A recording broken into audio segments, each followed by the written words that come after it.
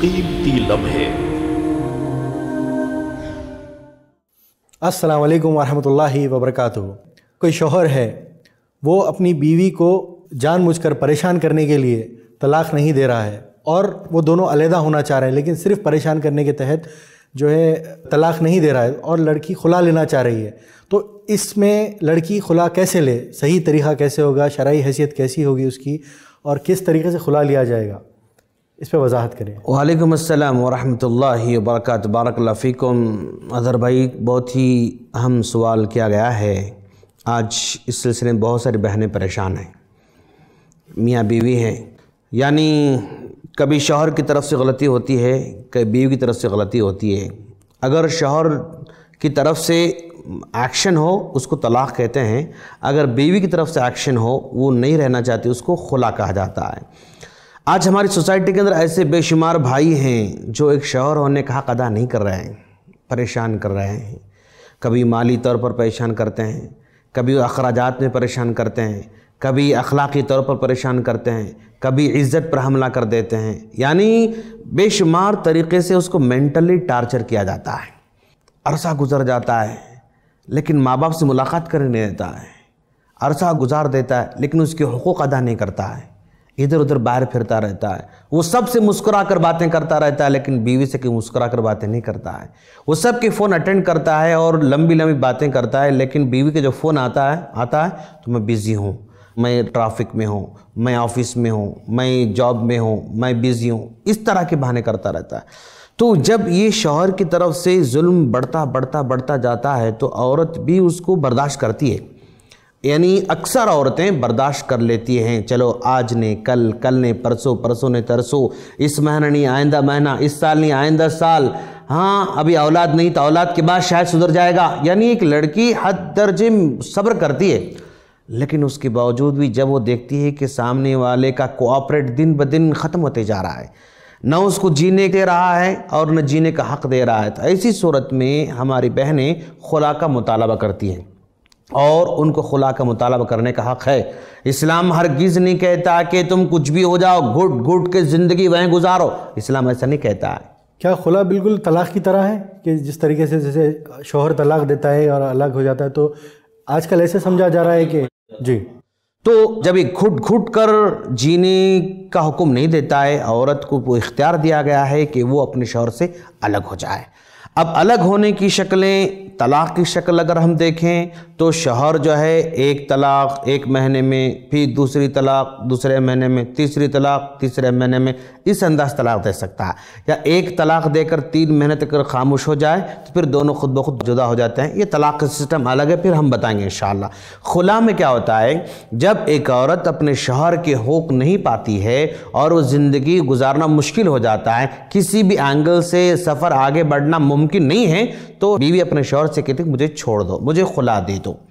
तो ऐसी सूरत में अगर शौहर रोक के रखता है, न उसका हक अदा करता है और ना ही उसको खुला देता है तो फिर ये शौहर बहुत बड़ा गुनहगार है, बहुत बड़ा गुनहगार है। तो ऐसे अगर वो हक अदा नहीं कर सक रहा है, उसको छोड़ देना चाहिए। अगर औरत से कह दे कि ठीक है, जाओ, मैंने तुमको खुला दे दिया, अगर इस तरह कह दे तो खुला हो जाता है। और जब खुला हो जाता है तो एक महीने की इद्दत रहती है औरत के पास।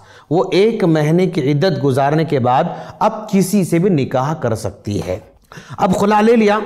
खुला लेने के बाद ये अपने माँ बाप के पास चली जाती है और जो है अभी एक महीना नहीं गुजरा। अब वो सोचती है कि भाई मतलब चलो ठीक है, जो कुछ मैं समझ रही थी, मैं गलत थी और वो आदमी सही था, कुछ भी हो जाओ, मैं फिर दोबारा रहना चाहूँगी। अगर रुजू करने आती है तो फिर दोबारा निकाह करना पड़ेगा। छः महीने के बाद वापस आना चाहती है, फिर भी निकाह करना पड़ेगा। यानी तलाक में क्या होता है तीन महीने तक बग़ैर निकाह के रुजू करने का वहाँ पर मौका रहता है। खुला में रुजू निकाह के साथ करना पड़ता है। अब मान लो फॉर एग्ज़ाम्पल सुबह में खुला ले लिया और शाम में वापस आना चाह रहे हैं तो फिर दोबारा निकाह करना पड़ेगा। जी हाँ कि उसी शौहर से अगर मिलना चाह रही है तो वो एक महीने की इद्दत ज़रूरी नहीं है वो कभी भी फिर निकाह कर ले सकती है। लेकिन अगर किसी और से निकाह करना चाहती है तो एक महीना पूरा उसको इद्दत दिन गुजारना पड़ेगा फिर उसके बाद उसको किसी और से निकाह कर सकती है। में ये भी देखा जा रहा है हाँ। कि लड़कियाँ जो है खुला को डिवोर्स की तरह इस्तेमाल करके अगर ऐसा ऐसा नहीं करोगे तो मैं खुला दे दूँगी ऐसा ऐसा नहीं करोगे तो खुला ले लूँगी। तो इस तरीके से जो खातून है जो बहन है वो अगर खुला लेना चाह रही है तो उसको क्या क्या चीज़ों का ख्याल रखना चाहिए? क्या कंडीशंस है? किन सूरत में लेना चाहिए किन सूरत में नहीं लेना चाहिए? क्योंकि इसका मिसयूज़ भी हो रहा है। जी हाँ बिल्कुल। यानी हर कानून मिसयूज हो सकता है। समझे आप? निकाह हलाल है ये भी मिसयूज हो सकता है। और तला जायज़ है ये भी मिसयूज हो सकता है। खुला जायज़ है ये भी मिसयूज हर दुनिया में हर चीज़ मिसयूज की जा सकती है। तो एक औरत अगर अपने शोहर के सही होने के बावजूद भी, उसके हकूक़ अदा करने के बावजूद भी, उसके सारे जो भी वाजिबात अदा करने के बावजूद भी, ये फिर भी जुल्म करते हुए वो खुला मांग रही है तो ये गलती है, ऐसा नहीं करना चाहिए। जब एक आदमी हकूक़ सारे अदा कर रहा है और पूरे फॉर्मेलिटीज़ अदा कर रहा है तो फिर रह कर ज़िंदगी गुजारना चाहिए उसको, नहीं बांटना चाहिए।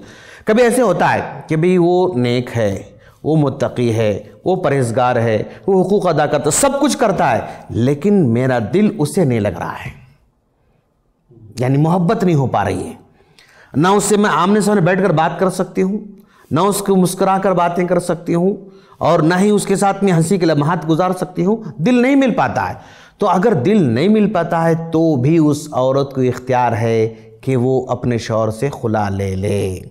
वो हकूक़ सारे अदा कर रहा है वो नेक भी है, परहेजगार भी है। जैसा कि साहबिया के साथ ऐसा वाक़ हुआ, साहबी अल्लाह के रसूल के पास आती, कहते हैं, अल्लाह के रसूल, मेरे शौहर से मुझे कोई शिकवा नहीं, कोई गिला नहीं है। लेकिन क्या करें मेरा दिल नहीं मिल पा रहा है। मैं मोहब्बत नहीं कर पा रही हूँ। तो अल्लाह के रसूल ने कहा, ठीक है, खुला ले लो। तो इस तरह अगर मोहब्बत ना हो सकी तो भी खुला लेने का उसको इख्तियार है। लेकिन, यानी खिलवाड़ नहीं होना चाहिए। किसी की ज़िंदगी के साथ खिलवाड़ नहीं होना चाहिए, इसका ख्याल रखें ज़रा। माशरे में आमतौर पर यह देखा जा रहा है कि ऑलरेडी शादी में होते हुए औरतें जो है ना किसी और से भी दिल लगा रही है। जी हाँ। तो इसको भी एक एक्सक्यूज बनाकर खुला लेने की तलब कर रहे हैं। तो इन, इन हाँ यानी ऐसा भी बहुत हो रहा है कि एक शौहर के महतात बीवी बनकर है लेकिन वो इससे मोहब्बत करने के बजाय किसी और से मोहब्बत कर लेती है और किसी और से मोहब्बत करके अपने शौहर से जो है वो खुला लेना चाहती है। तो पहली बात जो इनसे मोहब्बत कर रही वो हराम काम कर रही है। अपने शौहर की मौजूदगी में किसी और से मोहब्बत करना, ये हराम काम है। और एक हराम काम को अंजाम देने के लिए फिर गलत चीज़ का मुतालबा कर रही है। हाँ अगर एक औरत अपने शौहर के साथ जो है दिल नहीं लग पा रहा है, ज़िंदगी गुजारना मुश्किल है, और उसका किसी और से अफेयर बिल्कुल नहीं है तो बिल्कुल वो अपने शौहर से अलग हो सकती है। लेकिन किसी और से अफेयर करके अपने शौहर से अलग होना, ये दोनों के दोनों भी हराम काम, औरत कर, नाफरमानी काम कर रही है औरत। और मुआरे में एक और चीज़ भी देखी जा रही है कि शोहर जो है ना शादी करके अपनी बीवियों को महीनों महीनों साल साल छोड़कर बाहर चले जा रहे हैं कमाने हाँ, के लिए। जी हाँ जी हाँ। तो इसके ऊपर आप क्या कहना चाहेंगे? मतलब ये लोग कितने टाइम तक दूर रह सकते हैं? बिल्कुल। क्या चाहिए बिल्कुल बिल्कुल। बहुत अच्छा सवाल किया आपने माशाल्लाह। देखिए आमतौर पर हमारे पास ऐसा हो रहा है कि नौजवान जो है बाहर काम करता रहता है इस दौरान फिर आकर निकाह कर लेता है और निकाह के बाद फिर दोबारा अपनी जॉब पर वापस लौट कर जाता है।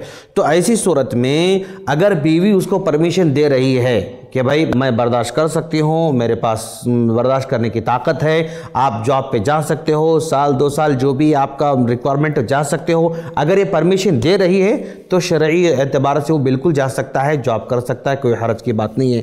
लेकिन अगर बीवी कह रही कि नहीं, मैं सब्र नहीं कर सकती गुनाह हो सकता गुनाहों के ख्याल आ सकते हैं शैतान भटका सकता है आप नहीं जा सकते।